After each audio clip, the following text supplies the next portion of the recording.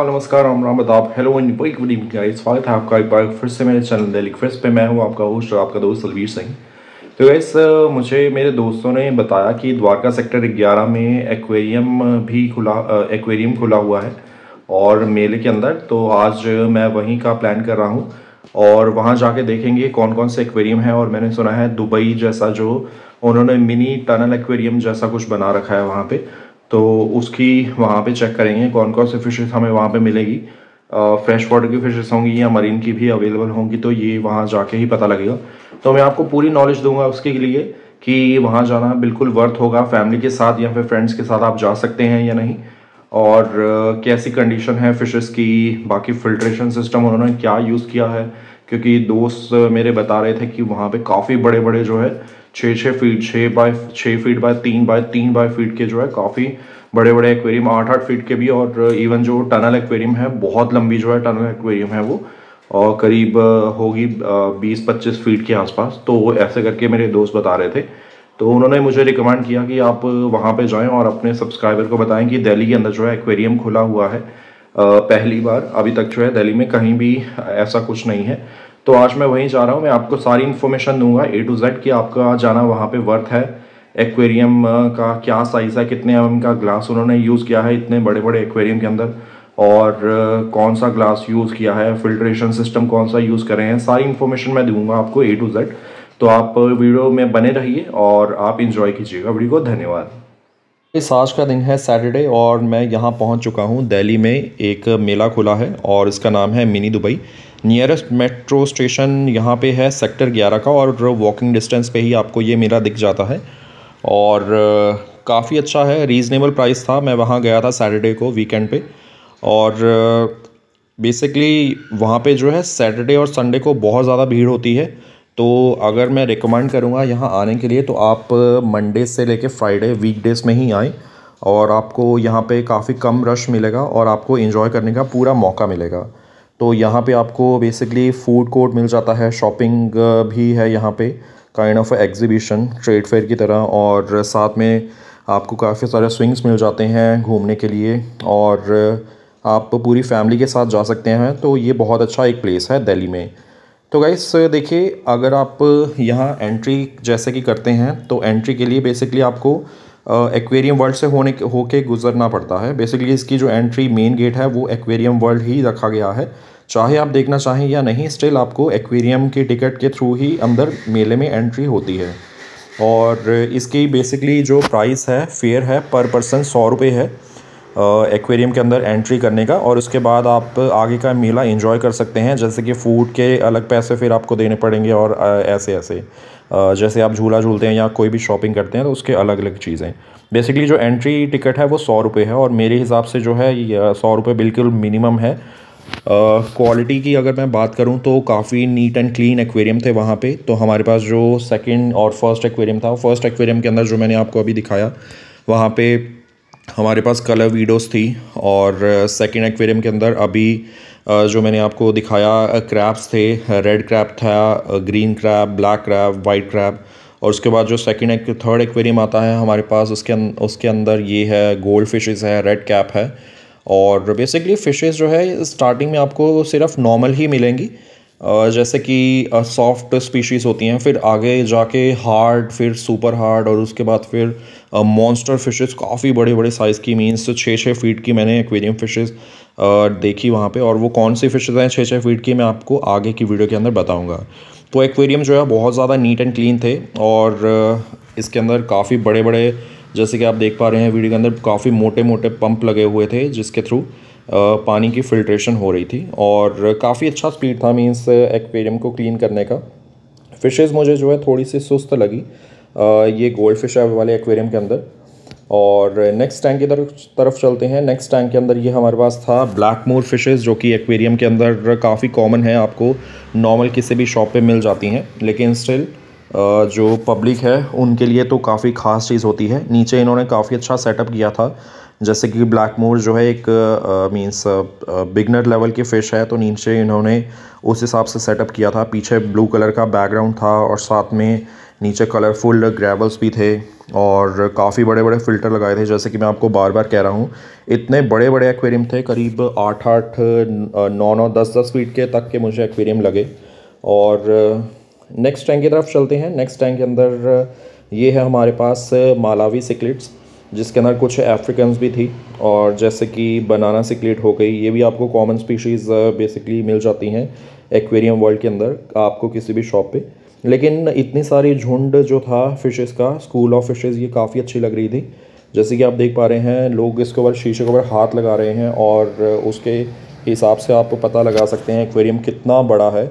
मुझे एक चीज़ के अंदर जो है बहुत ज़्यादा देखते सारी अगर आप फ़िशेज़ के अंदर और एक्वेरियम वर्ल्ड के अंदर बिल्कुल इंडल्ज हैं तो आप कहीं भी जाते हैं तो आप ये नोटिस करते हैं यार कि ग्लास का कितना साइज़ है और ग्लास के अंदर मीन्स बड़े एक्वेरियम के अंदर आ, कोई सपोर्ट लगी हुई है या फिर नहीं और इतना बड़े एक्वेरियम के अंदर एक हज़ार लीटर से ज़्यादा ही पानी होगा और ये कैसे चल रहा है यार? तो यही चीज़ जो है मैंने नोटिस करी। जैसे कि आप देखेंगे एक्वेरियम के अंदर कहीं भी इवन मैंने देखा अंदर मीन्स बाहर से, ऊपर से जितना मेरे से पॉसिबल हो पाया देखने के लिए मैंने देखा। एक्वेरियम के अंदर कहीं भी जो है सपोर्ट नहीं लगी लगी हुई। जैसे कि हम नॉर्मली छः फीट का एक्वेरियम बनाते हैं तो उसके अंदर सपोर्ट लगाते हैं। तो एक्वेरियम के अंदर आप देखेंगे, कोने में भी बिल्कुल भी कोई सपोर्ट नहीं है, नीचे भी कोई सपोर्ट नहीं थी। और इवन ऊपर भी कोई सपोर्ट कांच की नहीं लगी हुई थी एज इट इज़ था। और कांच का जो मैं साइज़ अगर आपको बताऊँ तो सिर्फ़ नीचे की तरफ़ सपोर्ट लगी हुई थी और वो भी 12 एम एम बाय बारह एम यानी कि 24 एम एम का आप शीशा मान सकते हैं। और 24 एम एम के शीशे के अंदर आपको इतने बड़े बड़े एक्वेरियम आठ फीट बाय तीन फीट बाय तीन फीट के एक्वेरियम मिल रहे थे। तो बेसिकली ये टफन ग्लास थे। मैंने इनके जो अंदर मैनेजर थे उन्होंने उनसे मैंने पूछा तो उन्होंने बताया कि ये, इसके अंदर उन्होंने टफन ग्लास यूज़ किया हुआ है, जिसमें पानी को पकड़ने की कैपेसिटी जो है काफ़ी ज़्यादा होती है। तो जैसे कि आप देख पा रहे हैं। तो चलिए मेन टॉपिक के ऊपर आते हैं। बेसिकली इस टैंक के अंदर हमने ऑस्कर फिशेस देखी, लेकिन इनका जो है पानी ठंडा था, इस वजह से इनके ऊपर वाइट स्पॉट आ रखे थे, जो कि बेसिकली इचिंग थी, और मे बी सेंधा नमक इन्होंने डाला या फिर नहीं, या फिर इनका ट्रीटमेंट किया या नहीं, खैर, कोई बात नहीं। तो इसके अंदर जो है हमारे पास ऑस्कर फिशेस की कुछ वैरायटी थी, जैसे कि टाइगर ऑस्कर थी एल्बाइनो ऑस्कर थी और साथ में बनाना ऑस्कर थी और चिली रेड ऑस्कर थी। काफ़ी अच्छा इन्होंने सेटअप किया था। नीचे वाइट कलर के स्टोन्स रखे हुए थे और साथ में ये जो आप देख रहे हैं, गुफा से ये लावा रॉक्स थे।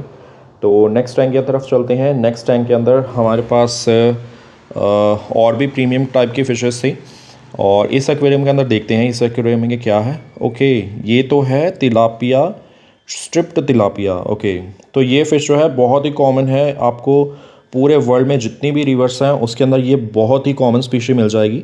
तो आप हालाँकि ये बहुत ज़्यादा एग्रेसिव होती है, अगर आप देखें तो ये बेसिकली बहुत ज़्यादा एग्रेसिव होती है। फ्लावर ऑन के साथ अगर इसकी वर्सेस वाली लड़ाई कर दी जाए तो यही फ़िश जीतेगी। इसका मुँह जो है, काफ़ी बड़ा खुलता है।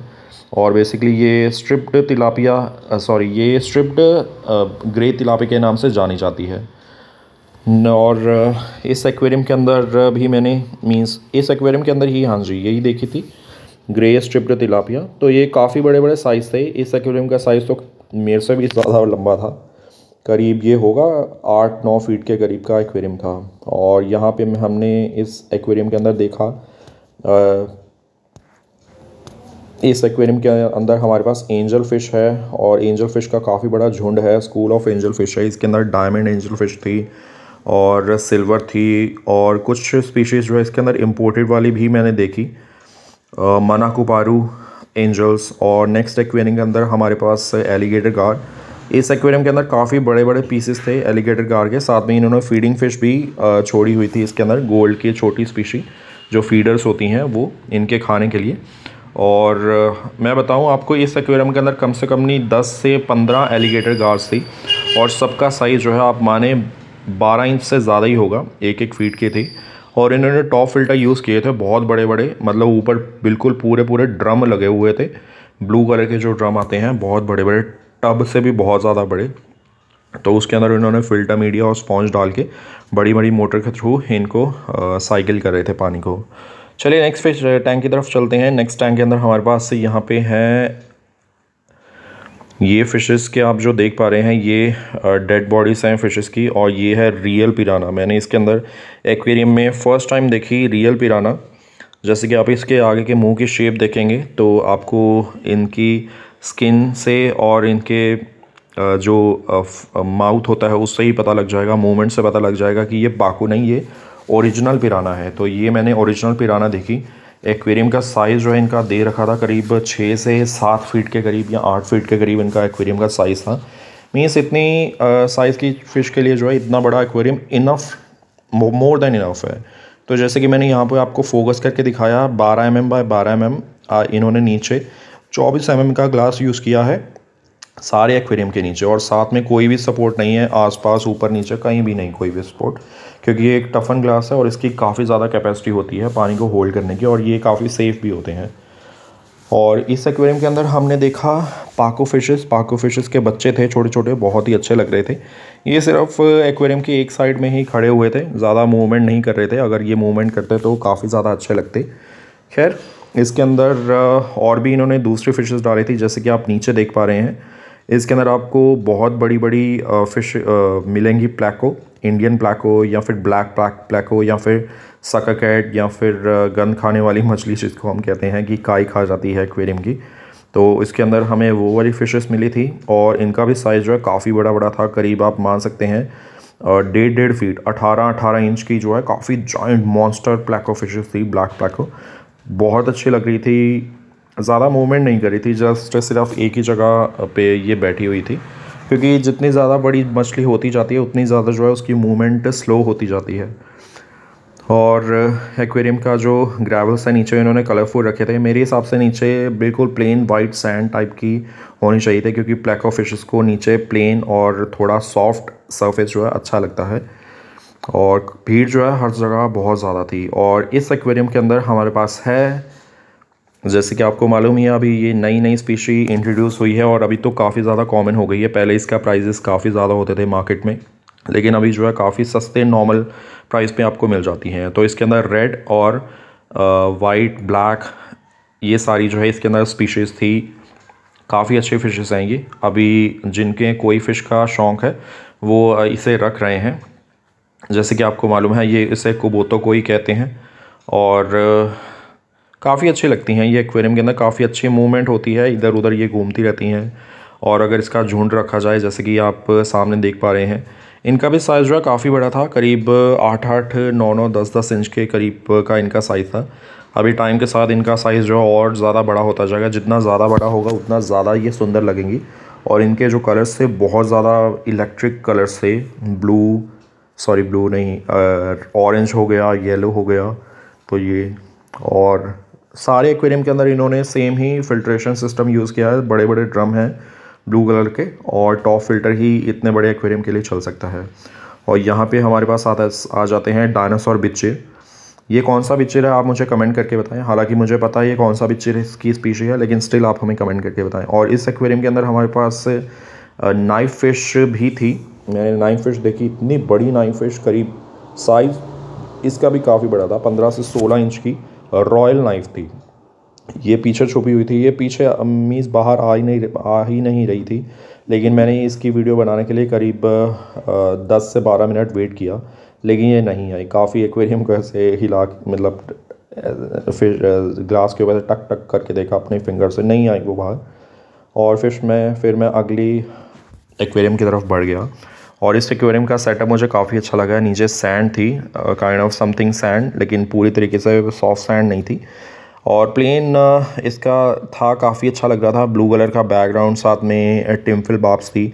इसके अंदर एल्बाइनो टिम्फिल पाप थी और सिल्वर टिम्फिल बाब खाना काफ़ी अच्छा देते हैं इनको इसलिए इनके कलर्स जो हैं काफ़ी ब्राइट हैं। इनकी टेल का कलर जो आप देख पा रहे होंगे बिल्कुल ब्लड रेड कलर का।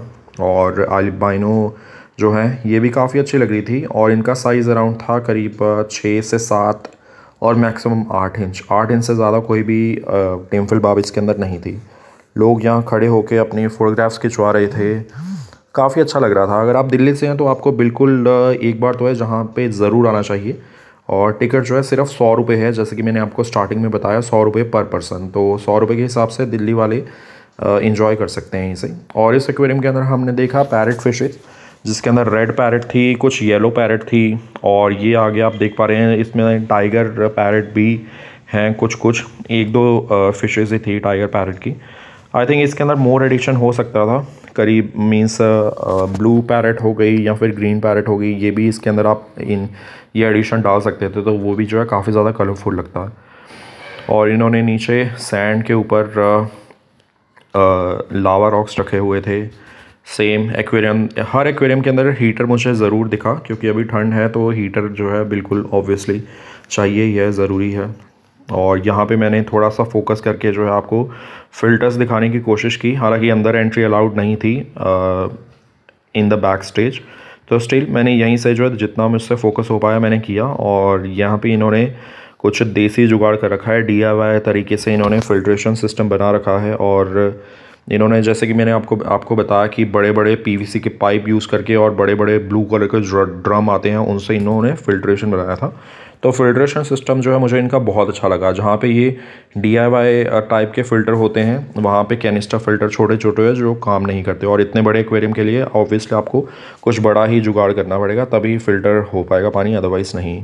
और इस एक्वेरियम के अंदर हम मुझे ये एक्वेरियम जो है काफ़ी ज़्यादा अच्छा लगा। इस एक्वेरियम के अंदर काफ़ी सारे आ, करीब छः छः सात सात इंच के तिलापिया बटिको फेरी फ़िश थी जो कि काफ़ी मीन्स आजकल पॉपुलर हो चुकी है एक्वेरियम वर्ल्ड के अंदर। और लेकिन ये बहुत ज़्यादा एग्रेसिव होती है। इतनी ज़्यादा एग्रेसिव कि अगर आप इसे फ्लावर ऑन या किसी अदर फ़िश जो एग्रेसिव हो उसके साथ रखें जैगवार के साथ भी इवन रखें तो अगर वर्सेस फाइट हो जाए तो यही फ़िश जीतेगी तिलापिया बटीको फेरी।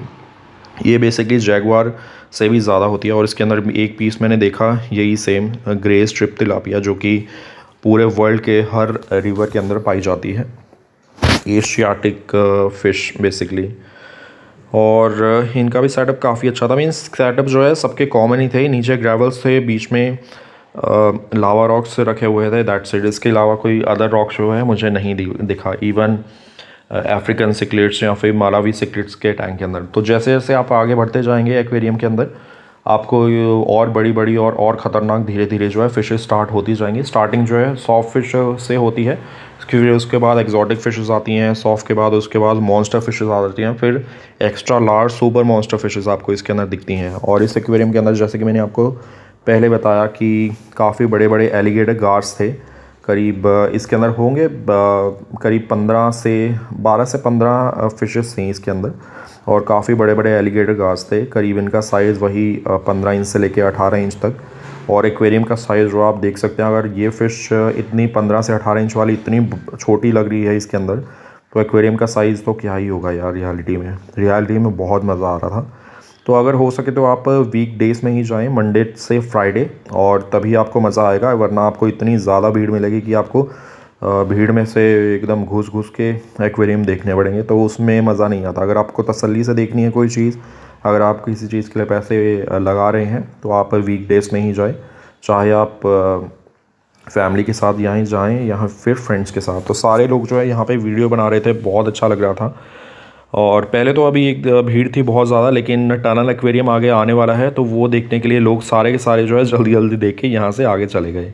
तो यहाँ से जो है टनल एक्वेरियम स्टार्ट होता है और मैं यहाँ से एंट्री कर रहा हूँ। एंट्री के लिए बीच में एक स्टॉपर लगाया गया है ताकि ज़्यादा भीड़ ना हो। थोड़ी सी ज़्यादा भीड़ होती है तो ये स्टॉप कर देते हैं यहाँ पे ताकि अंदर ज़्यादा रश ना हो पाए। और यहाँ पे जो है अलग ही एक्सपीरियंस आ रहा था मुझे।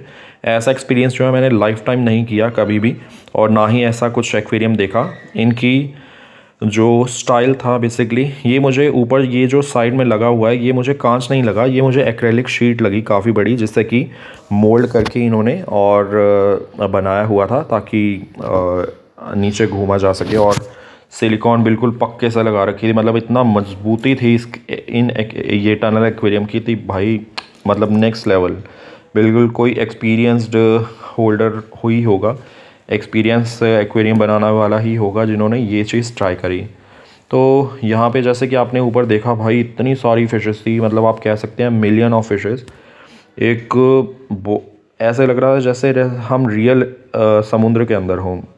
ऊपर आपके फ़िशेज़ आसपास फ़िशेज़ नीचे फ़िशेज़ हर जगह फ़िशेज़ और ये वाले फ़िशेज़ जो आप देख पा रहे हैं, ये कॉमन स्पीशी है बेसिकली जो blue green white red silver सारी आती हैं तो ये वही वाली स्पीशीज़ थी टेट्रा के अंदर आती है, जो आप कलरफुल टेट्रा देखते हो, उसके अंदर जो है ये वाइट वाली और ब्लू वाइट वाली टेट्रा थी तो काफ़ी कॉमन स्पीशी है, लेकिन इतनी सारी फ़िशेज़ जो है स्कूल में फ़िशेज़ देखने के लिए देखने से ऐसे लगता है कि काफ़ी जो है अच्छा एक्सपीरियंस आ रहा है, और काफ़ी अच्छा व्यू आ रहा था, इस इन्होंने इसके अंदर चैम्बर बना रखे थे, जैसे एक चैम्बर टनल का जो एक चैम्बर है, जहाँ पे आप बीच में बीच में बाउंड्री देख पा रहे हैं तो यहाँ से दूसरा एक्वेरियम स्टार्ट हो जाता था। अदरवाइज़ आपस में फ़िशेज़ लड़ती, झगड़ती और मॉन्स्टर फ़िशेज़ तो खाई जाती। तो इन्होंने जहाँ पे बीच में चैम्बर था, वहाँ से अलग जो है एक्वेरियम स्टार्ट हो जाता है टनल का, और यहाँ पे हमारे पास कॉमन स्पीशीज़ थी, ये कोई फ़िशेज़ हैं, इसके अंदर सारी थी मिल्की कोई हो गई वाइट कोई होगी ब्लैक कोई हो गई और काफ़ी बड़ी बड़ी ब्लैको फिशेज़ भी हैं। तो ऊपर से जो इन्होंने लाइट लगा रखी थी ऐसा लग रहा था जैसे कि सनलाइट का थोड़ा व्यू आ रहा हो। तो काफ़ी विजिबिलिटी विजिबिलिटी थी और ये जो इन्होंने शीट लगाई है, ये भी काफ़ी क्लियर थी। बिल्कुल भी एक भी स्क्रैच नहीं था इसके ऊपर। और कुछ फिशेस चल रही थी, कुछ नीचे बैठी हुई थी।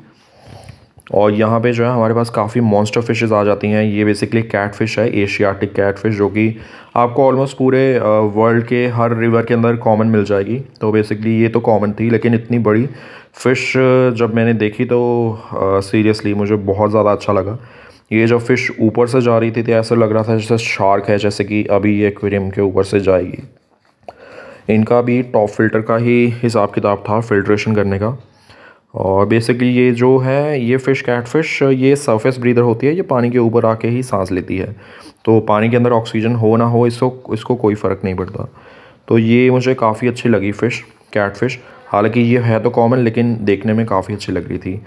और यहीं इसी टनल टनल एक्वेरियम के अंदर आप देखेंगे, ये ऑस्कर फिशेस थे, जिसके अंदर टाइगर ऑस्कर ही टाइगर ऑस्कर थी। भाई, बहुत सारी टाइगर ऑस्कर थी। एल्बिनो ऑस्कर भी देखी मैंने, लेकिन मोस्टली यहाँ पे टाइगर ऑस्कर थी और इनके ऊपर जो है बेसिकली ईचिंग आई हुई थी तो इन्हें ट्रीटमेंट की ज़रूरत थी।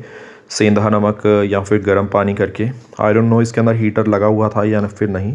लेकिन पानी जो था थोड़ा ठंडा ही लग रहा था मुझे।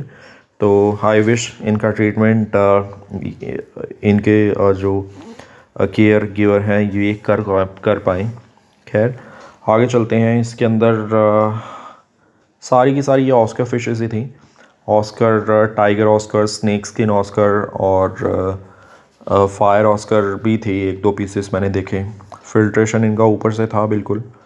वही जो मैंने आपको बताया बार बार कि टॉप फ़िल्टर ही ये मेथड यूज़ कर रहे थे फ़िल्टर फ़िल्ट्रेशन करने के लिए इतने सारे पानी का।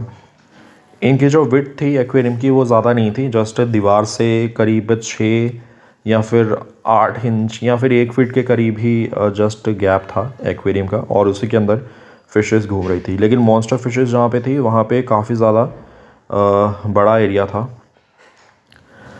तो मेरे हिसाब से तो जो है, बिल्कुल ये वर्थ है। अगर आप जाना चाहें अपनी फैमिली के साथ तो बिल्कुल जाइए। वीकडेज़ में ही जाइएगा Monday to Friday only Friday Saturday Sunday आपको बहुत ज़्यादा रश मिलेगा। और अगर आपको ये वीडियो अच्छी लगी हो तो आप चैनल को सब्सक्राइब कीजिएगा वीडियो को लाइक कीजिएगा। इसी प्रकार की और भी वीडियोस आती रहेंगी रेगुलर बेसिस पे। और यहाँ पे मैंने एलिगेटर गार भी देखी थी। ये जो काफ़ी बड़ी थी मीन्स ये एलिगेटर गार होगी करीब तीन, साढ़े तीन फीट के करीब। तो रियलिटी में देखेंगे ना तो आपको बहुत ज़्यादा बड़ी लगेगी ये। तो बिल्कुल वर्थ है यहाँ पे जाना। सिर्फ़ सौ रुपये टिकट है। मेरे हिसाब से तो मैंने बहुत ज़्यादा मज़ा किया मज़ा किया। मैं फैमिली के साथ गया था।